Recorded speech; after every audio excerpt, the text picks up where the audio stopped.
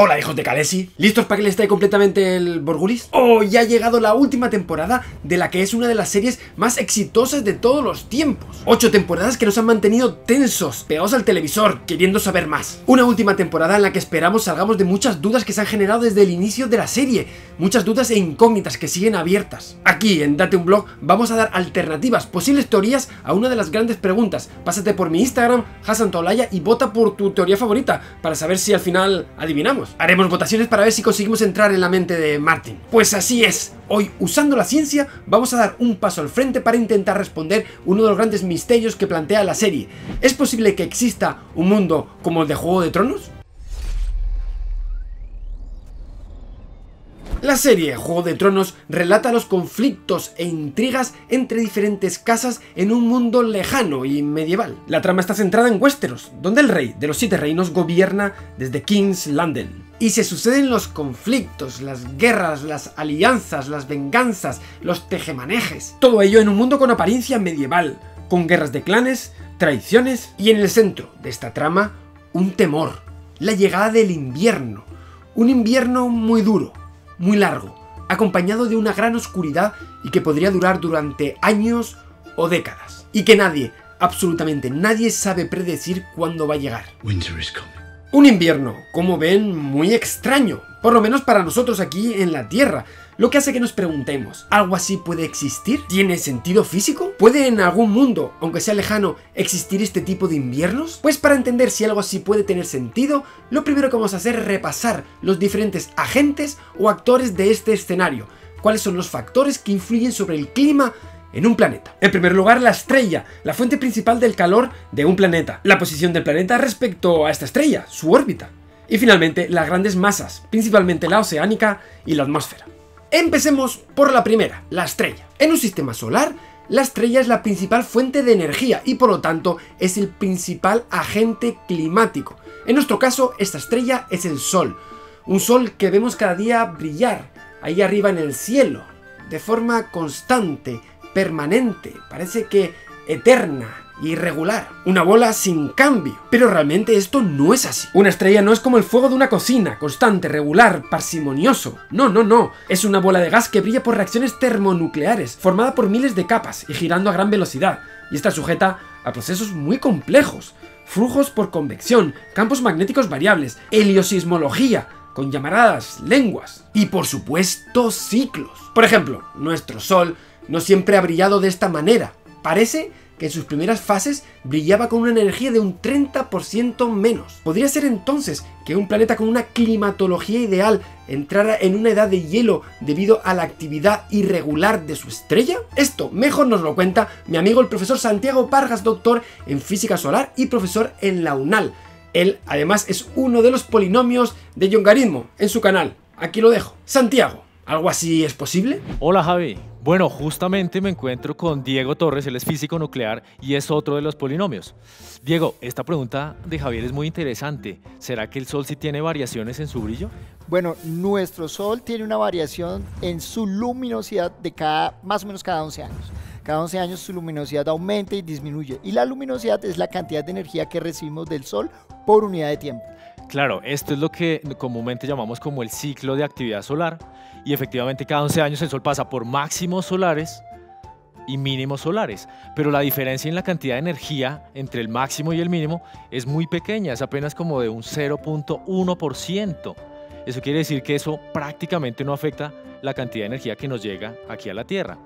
El Sol propiamente entonces sería una estrella variable, pero esas variaciones son muy pequeñas.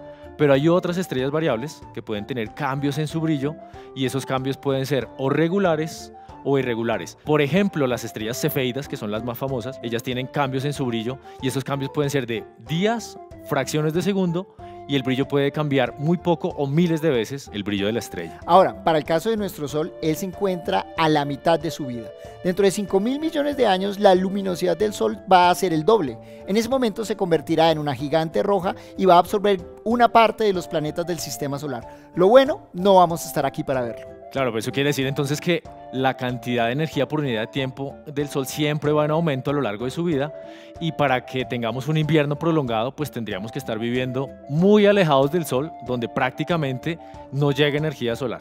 Santiago, existen otros fenómenos por los cuales la luminosidad de una estrella puede cambiar. ¿Como cuáles? Cuando tenemos un sistema binario es como un tipo de eclipse en el cual se cambia la luminosidad de las estrellas. O también un sistema en el cual hay eclipses temporales por otros objetos. Como lo que ocurre con el sistema Tabi, muy famoso porque era una estrella que aparentemente cambiaba su luminosidad de manera aleatoria. Claro, esto yo me acuerdo en el 2016 causó mucho revuelo porque se empezó a decir que había una mega estructura alienígena alrededor de la estrella y por eso entonces disminuía su brillo. Pero ya más o menos hay una idea de cuál puede ser la explicación. Y es que la estrella Tabi probablemente tenga una especie de cinturón de polvo alrededor y eso hace entonces que todo ese material pues de alguna manera tape la luz de la estrella y veamos una disminución en su brillo. Pero en resumen, ¿será que sí es posible tener inviernos largos e impredecibles como en Game of Thrones? Pues en el caso de nuestro Sol es muy poco probable, a no ser que vivamos muy lejos del Sol donde prácticamente no nos llegue energía y entonces ese invierno pues sería muy muy prolongado. Y en el caso de otras estrellas podría darse por una reducción cuando la estrella está en un mínimo, es decir, en donde la cantidad de brillo y la energía por unidad de tiempo es menor. Pero para que sea inesperado, pues tendría que ser una variable irregular en la cual no podemos saber en qué momento va a tener esa disminución de brillo y cuánto tiempo va a durar. Gracias Santiago y viva Colombia. Ya hemos visto que una estrella es la principal fuente de energía de un planeta y por lo tanto tiene un efecto importante en la climatología, no solamente por la cantidad de energía que emite, por su brillo, sino también por la distancia a la que está un planeta de esta estrella. Esta energía cae con el cuadrado de la distancia, por lo que cuanto más cerca, más energía y más calor, y cuanto más lejos, menos energía y más frío. Tal es así que alrededor de una estrella se sitúa lo que se conoce como franja de habitabilidad, la región donde un planeta tiene unas condiciones de temperatura propicias para la vida. Ni muy frío, ni muy caliente. En particular, una región donde sepamos que el agua se encuentra en estado líquido, una condición que hoy creemos que es fundamental para que allí se desarrolle la vida, al menos tal y como la concebimos. Esto nos da una posibilidad. Quizás podría tratarse de un planeta con una órbita extraña tal que los inviernos sean muy duros y muy largos, unas estaciones con grandes contrastes. Esto nos lo va a contar una astrofísica, Tris, del canal Astrofísicos en Acción. Dale duro, Tris. Hola, Javi. Lo que determina la forma de la órbita de un planeta es un parámetro conocido como excentricidad. Por ejemplo, la excentricidad de un círculo perfecto es cero. Para el caso de los planetas que describen órbitas elípticas, su excentricidad es mayor a cero, pero menor a 1. Mientras mayor sea la excentricidad, más elongada será la elipse. Nos pusimos a pensar en cómo tendría que ser la órbita del planeta de Game of Thrones y no pudimos evitar la comparación con un planeta enano de nuestro propio sistema solar, Sedna. La órbita de Sedna es tan excéntrica que tarda más de 11.000 años en dar una vuelta alrededor del Sol, y aún en su punto más cercano al Sol se encuentra más lejos que Plutón. Echando a volar la imaginación, es posible que la órbita del planeta de Game of Thrones se parezca un poco a la de Sedna. Sin embargo, para que un planeta con una órbita tan excéntrica tenga agua líquida, océanos, bosques, humanos y zombies, necesita estar en la zona habitable por lo menos por un tiempo considerable. Nada impide que un planeta entre y salga de la zona habitable. Quizás los habitantes de Game of Thrones surgieron cuando el planeta entró en la zona habitable, por lo que el invierno se estaba terminando y a falta de otro invierno no saben cuándo es que llegará el próximo. Ahora, también necesitaríamos que esos inviernos fueran largos y duros, pero no tanto como para hacer que la vida se extinguiera en el planeta, sino que pudiera entrar en un tipo de hibernación y continuar con su ciclo cuando el invierno esté por terminarse nuevamente. Otra posibilidad muy interesante es que el planeta de Game of Thrones orbite un sistema binario de estrellas, que giraría alrededor del centro de masa del sistema en la región exterior de este. Este tipo de planetas ya han sido descubiertos y son llamados planetas circumbinarios. Dependiendo del tipo de estrellas que el planeta esté orbitando y de la excentricidad de su órbita, puede entrar y salir de la zona habitable en distintas ocasiones. Además, tomando en cuenta los distintos ejes de rotación que pueda tener, sus ciclos de estaciones podrían ser mucho más variados. Todo esto haría que los cambios en el clima del planeta fueran muy extremos. El problema es que al final esos cambios serían bastante predecibles a lo largo de los años. En dado caso de que fueran cambios caóticos,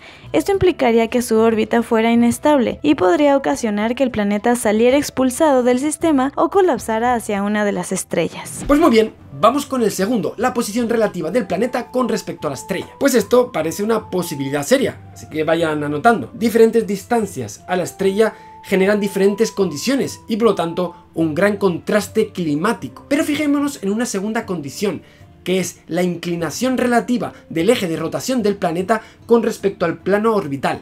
Esto es precisamente lo que causa los inviernos en la Tierra. Al ser la superficie de la Tierra curva, los rayos no llegan igual a todas las regiones de la Tierra. Vean, en función de donde estemos sobre su superficie, el Sol incide más verticalmente o menos. En particular, en cuanto mayor es el ángulo entre la dirección de los rayos del Sol y la superficie de la Tierra, mayor es la cantidad de energía que se recibe, el flujo. Por eso hay regiones más cálidas en el Ecuador y regiones más frías en los polos. Pues como la Tierra gira y este ángulo de rotación está ligeramente inclinado con respecto a la órbita de la Tierra, esto hace que una misma región tenga diferente posición con respecto al Sol en diferentes momentos del año. Esto es lo que crea las estaciones. En una parte de la órbita el Sol incide verticalmente sobre el hemisferio norte, es verano allí, en otra parte de la Tierra, el Sol incide verticalmente sobre el hemisferio sur. Veranito rico, asado, pileta y fernet. Como ven, esta ligera inclinación es la que genera inviernos cíclicos en algunas regiones de la Tierra, aunque estos inviernos son de meses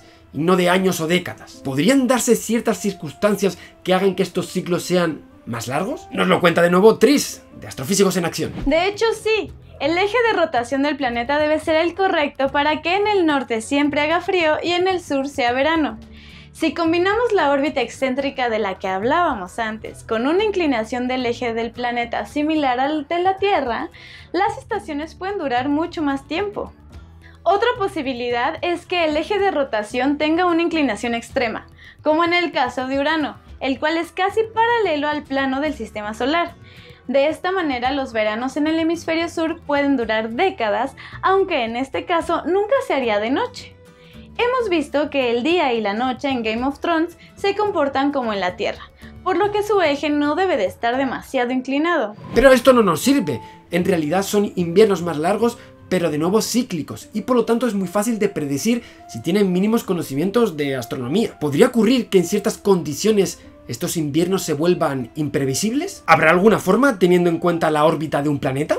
¿Tris? Pues mira, Javi, existe el llamado ciclo de Milankovitch que describe cómo la atracción gravitacional de los demás planetas del sistema solar provocan que la órbita de la Tierra oscile y esto provoque cambios en el clima terrestre a lo largo de miles de años.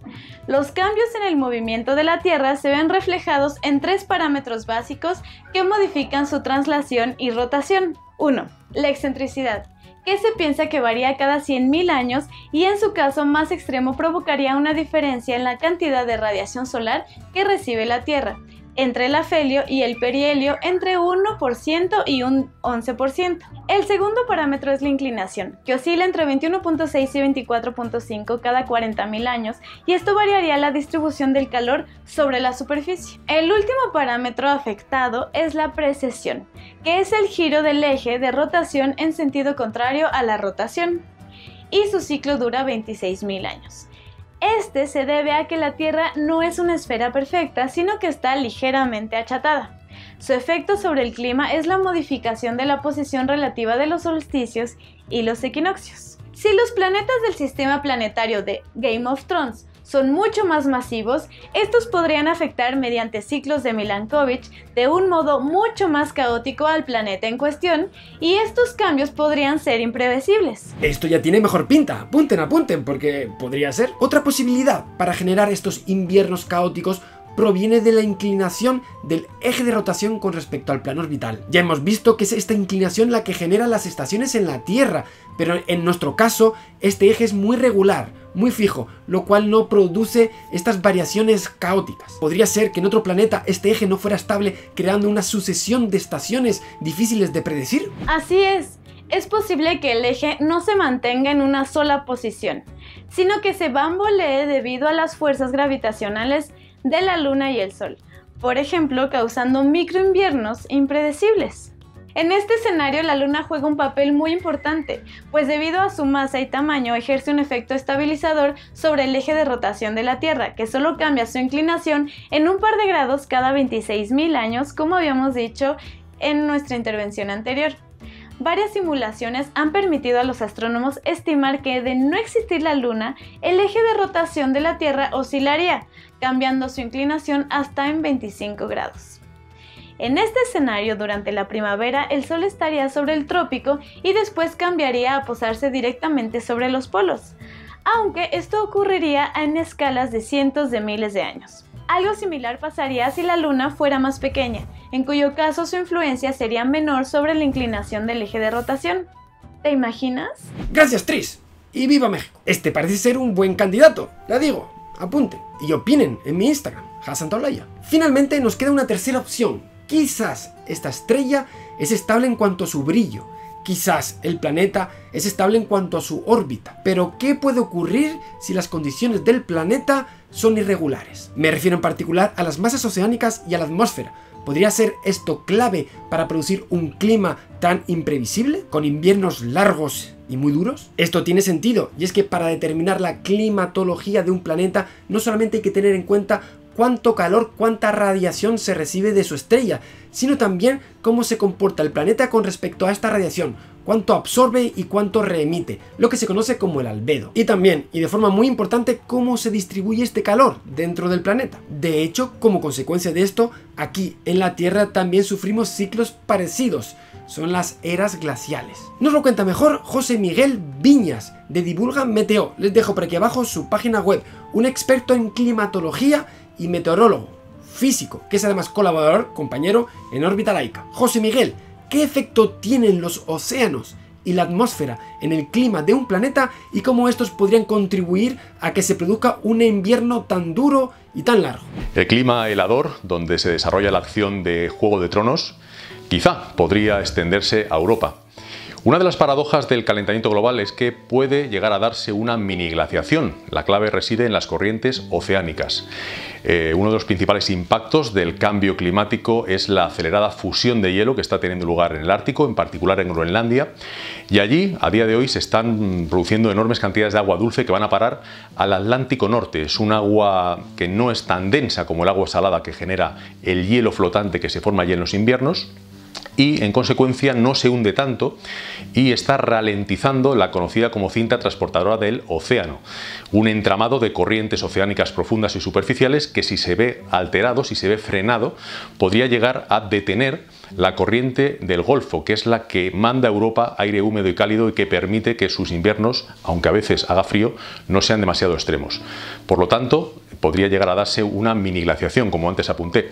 Ahora bien, la buena noticia es que los gastos de producción para Juego de Tronos se abaratarían mucho porque podrían grabarse exteriores en cualquier época del año y en cualquier lugar. Esto que nos has contado, José Miguel, es una propuesta muy interesante y muy lógica, pero lleva una tendencia de cambios demasiado lenta para lo que estamos buscando, escalas de milenios o millones de años. Buscamos inviernos que puedan durar decenios o unos pocos años. ¿Existiría algo así dentro de las condiciones climáticas de un planeta? Quizás algo inmediato que pueda producir un cambio en el albedo de la Tierra, quizás algo que sea capaz de bloquear la luz del Sol, algo como un meteorito. Otra de las causas que puede dar lugar a una glaciación repentina como la que viven los personajes de Juego de Tronos, es el impacto de un meteorito de gran tamaño, de varios kilómetros de diámetro.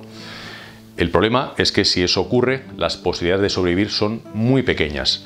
Hace 65 millones de años impactó uno de ellos en la Tierra, lo que tuvo como consecuencia, entre otras cosas, la extinción de los dinosaurios. Sabemos que un pedrusco de unos 15 kilómetros de diámetro impactó en la zona del Golfo de México y la península de Yucatán e inyectó tal cantidad de partículas y de polvo a la atmósfera que veló el Sol en gran parte de la superficie terrestre durante mucho tiempo. Eso provocó un descenso acusadísimo de las temperaturas y la extinción de la mitad de las especies durante el Cretácico. O un supervolcán. El largo y duro invierno de Juego de Tronos podría provocarlo una gran erupción volcánica. En la Tierra de vez en cuando ocurren mega erupciones que inyectan a la alta atmósfera una gran cantidad de materiales. Ese material se dispersa en la estratosfera donde soplan vientos muy intensos y se forma un fino velo de partículas que lo que hace es retener parte de la radiación solar impidiendo que llegue abajo, a la superficie terrestre. La consecuencia de esto es un descenso de la temperatura y un enfriamiento global. En el año 1815 tuvo lugar la erupción del Tambora. Pues bien, al año siguiente fue una mega erupción y dio lugar al año sin verano, así se conoce en climatología. La temperatura en muchas regiones del hemisferio norte bajaron hasta 3 y 4 grados por debajo de la media. Esto es una barbaridad. Eso sí, esos descensos únicamente duran unos cuantos años, hasta que esas partículas terminan depositándose de nuevo en la superficie terrestre. Muchas gracias José Miguel y viva España. Pues esta posibilidad también suena súper interesante. Ya hemos visto teorías relativas al cambio del brillo de la estrella, a la posición del planeta con respecto a su estrella y finalmente de las propias condiciones dentro del planeta. ¿Cuál es tu favorita? ¿Cuál crees que es en la que se basa Juego de Tronos? Vota en Hassan y en Instagram y veamos si conseguimos entrar en la cabeza de Martin y acertar con esta predicción. Pásate y vota por tu teoría favorita. Pues esto ha sido todo compañeros, espero que les haya gustado muchísimo este vídeo. Me despido dando gracias a Santiago Vargas, actriz y a José Miguel por haber pasado por aquí, por darte un blog. Muchas gracias compañeros, pásense a ver sus canales y sus vídeos porque son buenísimos. Si no, no los invitaría aquí a darte un blog si fueran malos, caca. Recomendándote un vídeo de Date un Meet donde hago un test de física a Martí de C de Ciencia, aprobará en física C de Ciencia, jaja, un test especialmente duro que he hecho para él. También con una noticia que me parece increíble